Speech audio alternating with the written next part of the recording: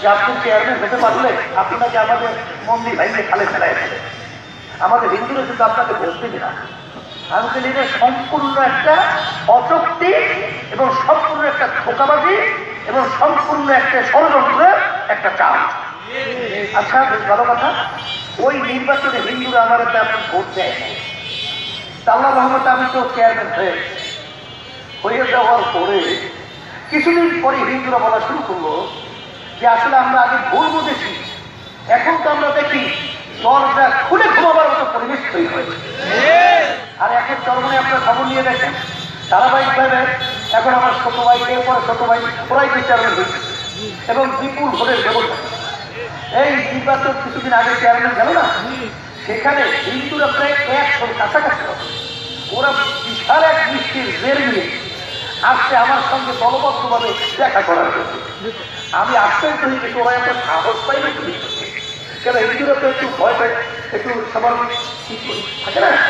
ওরা বলে বলে থাকে থাকে সতের উপরে সবখানি বলে নয় ওরা মিষ্টি জের নিয়েছে আমার সঙ্গে দেখা গেছে ফিরে আত্মচারা তোমরা বলে, হুজুর, আমরা বিজয় হয়েছে। এই খুশিতে বৃষ্টির জেল নিয়ে বৃষ্টি আপনাকে সব খাওয়ার জন্য দিয়ে আসে এখন হিন্দুদের খবর নিয়ে দেখবেন। যে এখন চরমলা ইউনিয়নে হিন্দুরা পর্যন্ত আমাদের ইসলামী আন্দোলনের কর্মী হয়েছে তারা আজকে অন্য হিন্দুদেরকে সেদিনকার ওই আমাদের উজিরপুর সহ ওদিকে ওই আগে হিন্দু এমপি ছিল হরনাথ পাই তার ছেলেটাকে সেদিন চরমনায় যাওয়াটাই এই যে আমি খবরে আসলে খবরই বাড়ি থাকা অবস্থা, বলতেছিল যে হুজুর আমি আশ্চর্য হয়ে চরমনায় পরে কেন? বলে আমাদের হিন্দুদের একটা পারিবারিক সমস্যা। সমস্ত হিন্দুরা বলতেছে একমাত্র খ্রিস্টানদের যে সিদ্ধান্ত নেবে সেই সিদ্ধান্ত আমরা মেনে নেব আর বিকল্প কারণে সিদ্ধান্ত আমরা মানতে রাখব বরং হিন্দুদের আপনাদের প্রতি এত আস্থা এটা কিন্তু আমরা চিন্তাও করতে পারি এরপরে হয়ে যাবে সেই হিন্দু বাড়িতে সে বিজ্ঞান নিয়ে আসার আগে এই আলোচনার মাধ্যমে আমি মূলত বোঝাতে চাই যে আসলে আমাদের এই দেশটা, এই দেশে আমরা জন্মগ্রহণ করেছি। এই দেশের জন্য আমাদের মায়া নাই, এই দেশের জন্য আমাদের মমতা নাই। এই দেশটা আজকে দিন আগে ধ্বংস হবে?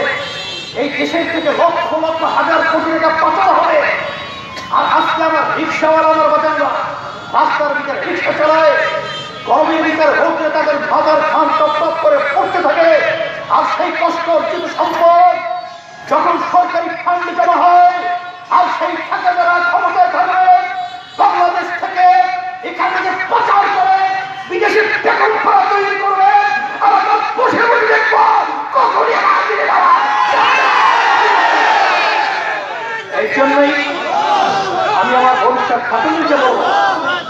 কথা বেশি লম্বা না সংক্ষেপ আজকে ইসলামী আন্দোলন বাংলাদেশ, আপনারা লক্ষ্য করেছেন?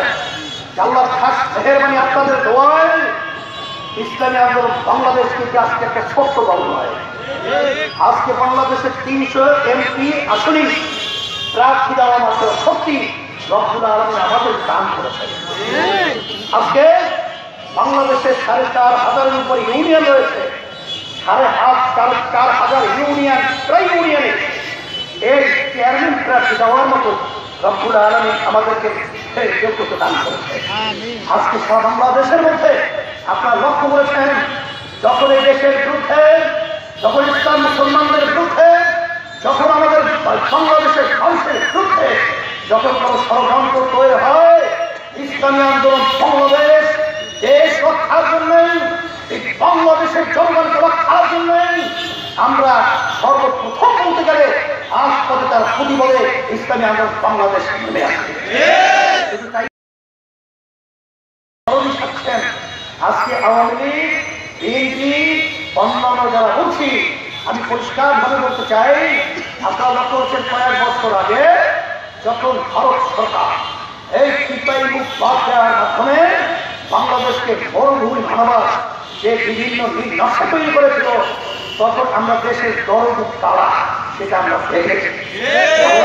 আপনাদের দয় ইসলামী আন্দোলন বাংলাদেশ, আমরা ঢাকা থেকে প্রায় লক্ষের উপরে লোক নিয়ে প্রায় তেত্রিশ উপরে গাড়ি নিয়ে লং মার্চ করে এই পাক নির্মাণ হতে দেবে না এর প্রতিবাদে আমরা সিলেট জকিগঞ্জ পর্যন্ত পৌঁছেছিলাম আপনারা জানেন, ভারত সরকার বাধ্য হয়ে বলেছিল যে বাংলাদেশকে ক্ষতি করে এই পাক আমরা নির্মাণ করব না।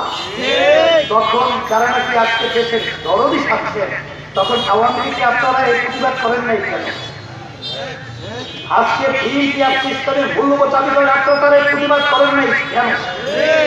আজকে অন্য যারা রয়েছেন, দেশের দরদি থাকছেন আর তারা আপনার সেই দেশ রক্ষার জন্য আজকে কেন প্রতিবাদ করছেন না?